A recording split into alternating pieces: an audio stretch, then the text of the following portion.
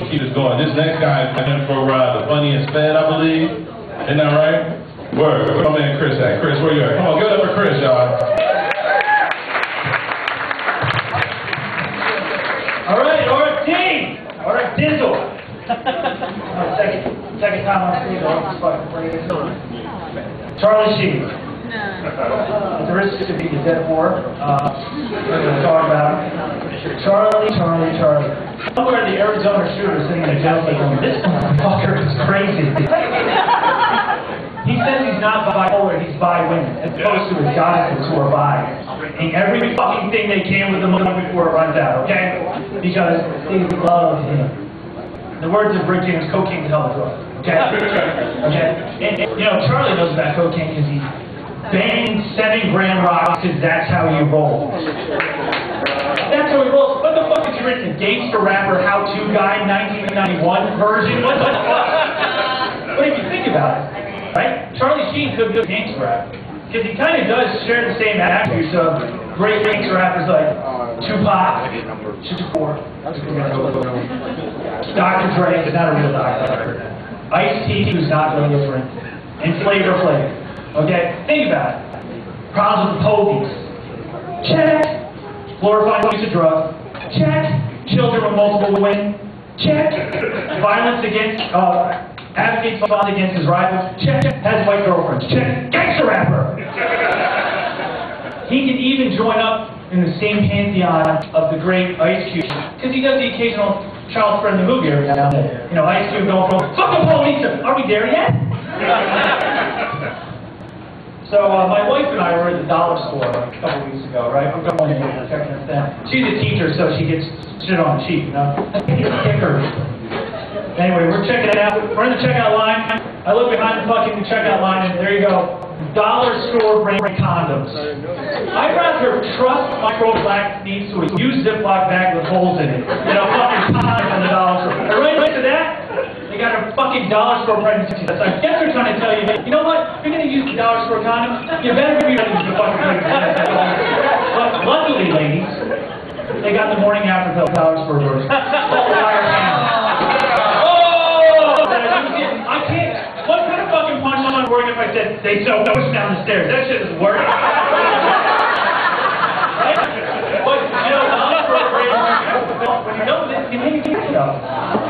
Two for one. But I shouldn't talk shit. You know, this is, I am a, I'm a recent father. Any dads out there? Anyone rating on results? I said, uh, speaking of results, one of my favorite things on TV is that shit on Maury with maternity results. That shit is fucking hilarious. That's a train wreck on TV every day. that's the only shit Maury does anymore. No, but it's great. Because the other dad's up there all the time like, no, no, he's not my son. He's not my son. Okay, he looks like me. He's not my son. Maury's like, the father. And then all of a sudden the mother's like, yeah, that's right! Like she just motherfucking lied. Yeah, that's right, motherfucker! Time to pay! And he's sitting there sobbing, like yelling at his dick, like, fuck you! Why would you do this to me? That's the last fucking time I buy a dollar store condom! Speaking of being um, toys have changed a lot since I was young. My mom just bought my daughter this fucking dog. Violet, okay? The cool thing about Violet is you can program your kid's name so the dog says the name, but the thing is, the dog's voice is different from the voice of when it says the kid's name. So it's like, hi, my name's Violet, is your name Olivia? Oh, like fucking James Earl Jones has possessed a fucking dog. You know? But the first time we turned on, it was like, it was like, hi, Olivia, hi, Olivia, I'm hungry. Great, so I got another fucking mouth to feed. And I'll get it again. Hi, oh, Olivia. I'm sad. Great, so the dog's hungry and depressed and thinks a fucking teenager, okay? You know, the other day I caught fucking street teaching on sex. You know? Anyway, okay, but I gotta tell you, I was in Toys R Us the other day, I saw the most racially racist package ever. Look this shit up. I'm not fucking with you, okay? You call me racist? No, this is fucking racist, okay? The Little Tikes Neighborhood Market. Look that shit up on your phones right now, okay? On it's a fucking life-size grocery store for kindergartners to play with, a play set. The picture is a bunch of kids waiting in line at the grocery store.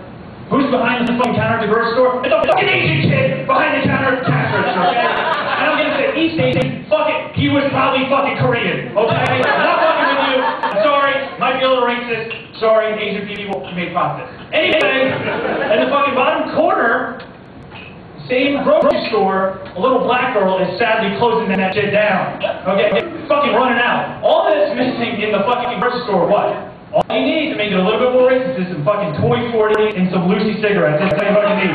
What's next? The toy call center, a bunch of fucking Indian kids running in. What the fuck is that? Anyway, I'll end on this. Sorry, end on this. And my daughter, fucking, she's so young, but she destroys everything she touches. Absolutely everything. Okay?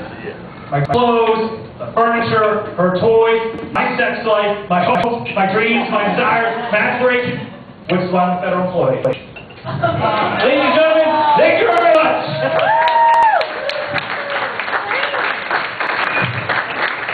Yeah, give it up for Chris, man. Best of luck in the contest, too, man. Let me think, um, more housekeeping.